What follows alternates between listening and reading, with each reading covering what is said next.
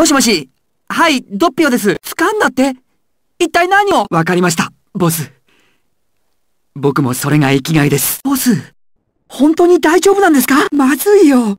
近づく前にバレちまうぞ、ボス。ボ、ボス。マジに何者だ？戦闘経験の豊富な奴だ。スタンドの間合いを確実に計算に入れている。あの男、何か持っているぞ。ボス、そいつの体に行ったんですね。確かに、そこにいるのなら、僕たちの勝ちだ。でも、寂しいよ、ボス。いつものように、電話、ください。待って、ます。電、話。えちょ、っと待ってくださいよ。誰の子供ですって？僕の？僕に子供がいるですって？あ、あ、あのですね。無茶言わないでよ。それっていくつの時の子供だよ？バカバカしいですよ。変な占いだな。もういいですって。もうくだらなくてとっても聞いてられない。ちょ、ちょっと、や、やめてください。手を離して、ぼ、僕に触らないで。クソやかましいぞ触ってんじゃねえ！見てどうすんだよ、おら。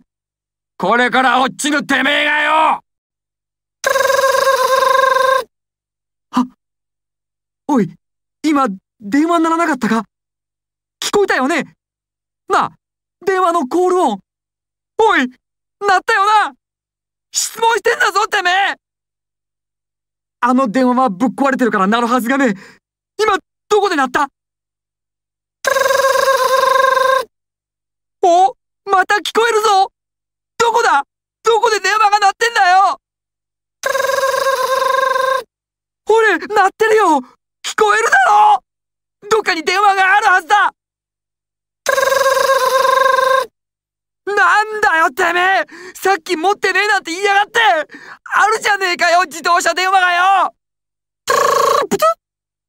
もしもし。はい。ドッピオですもしもし？あ、ボス。あ、あ、はい。わかりました。今到着したところです。眺めのいい丘の上にいます。え？ドライバーは封筒の中は何も見ていないから、奴の始末はしなくていいですって？お言葉ですが、ボス。私の見解では、確かにこいつは見てはならない写真を見てしまったと。あ、いや、ボスの命令なら、逃がしてやります。た確かに、おっしゃる通りです。ここで面倒を起こすのはまずい。す、すいませんでした、ボス。はい。建物の見張りはこれからです。あ、あれはだ、誰だっけ？えー、っと、見たことあるぞ、あいつは。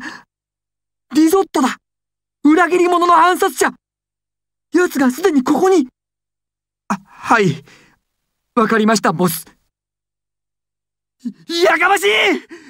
ひいひいこれから怯えるのはてめえの方だぜ！そこだ！リゾット！